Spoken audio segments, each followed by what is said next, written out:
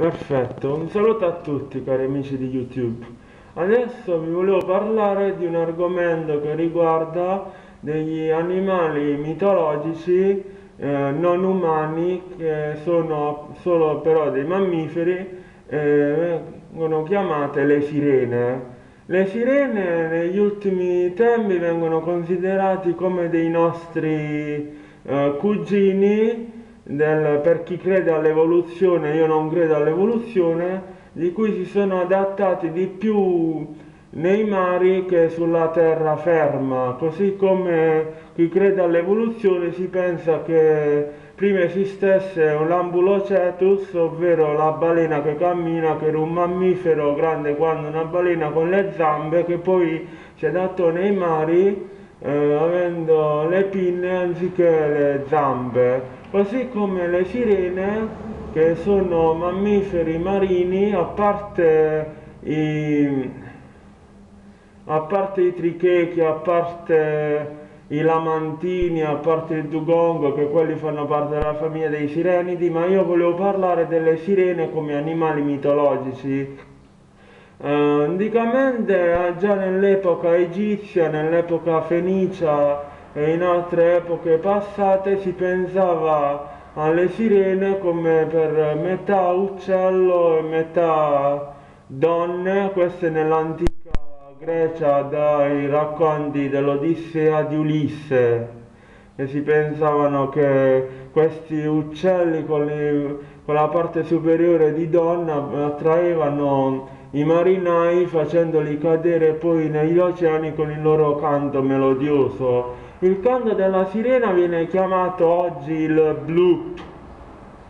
che è un canto che più che canto è un modo per comunicare fra di loro come per noi abbiamo la parola, eh, quindi hanno questo bloop che si comunicano anche in vari dialetti personali, che solo per comunicarsi fra di loro.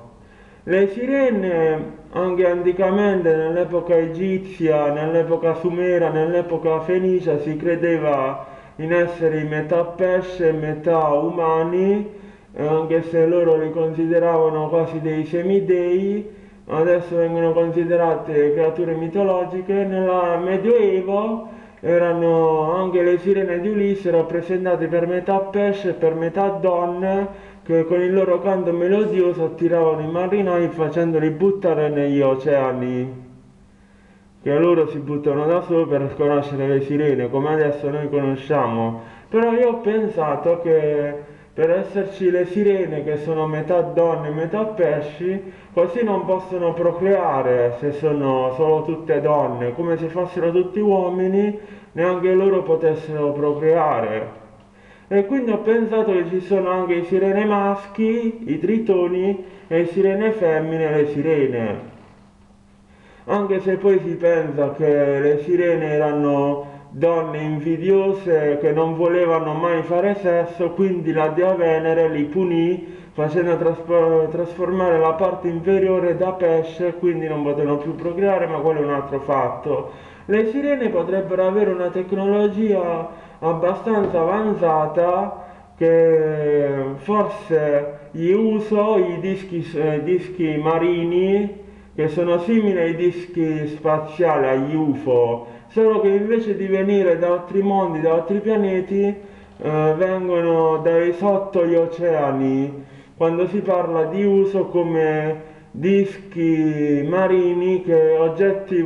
oggetti marini non identificati che poi salgono in cielo e quindi hanno pure loro una tecnologia abbastanza avanzata anche per cacciare quegli arpioni da sirena che alcuni pescatori hanno pescato per caso e l'hanno messo in mostra in un museo che quelli dicevano che erano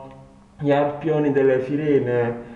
Oggi qualcuno ha anche fotografato, filmato delle sirene come in un video in Israele che si vede, uh, che si vede una sirena sugli scogli che si butta in mare filmata da due, inglesi, da due ragazzi inglesi in Israele. E così come anche molti pescatori avranno visto e filmato delle sirene come quell'abbraccio quasi umano che esce dalle reti e poi lo hanno ributtato in mare. Le sirene sono quindi esseri viventi, mitologici, ma che potrebbero esistere pure nella realtà, che comunicano con i bloop, che usano gli uso come noi usiamo le automobili e che hanno un modo di comunicare attraverso il bloop che sarebbero poi il famoso canto delle sirene melodioso che prima attirava i marinai negli oceani. Uh, le sirene non è detto che siano proprio degli esseri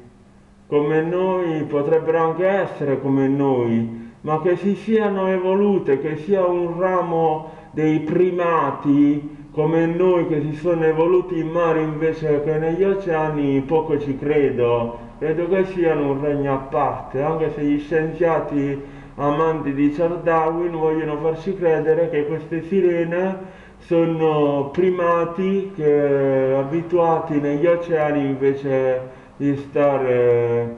eh, sulla terra asciutta. Eh, una volta in un circo era anche esibito il cadavere mummificato di una sirena come fenomeno da baraccone. Le sirene sono diventate in questo momento un argomento interessante ed appassionante, così come quando si parla di alieni, di extraterrestri, di fantasmi eh,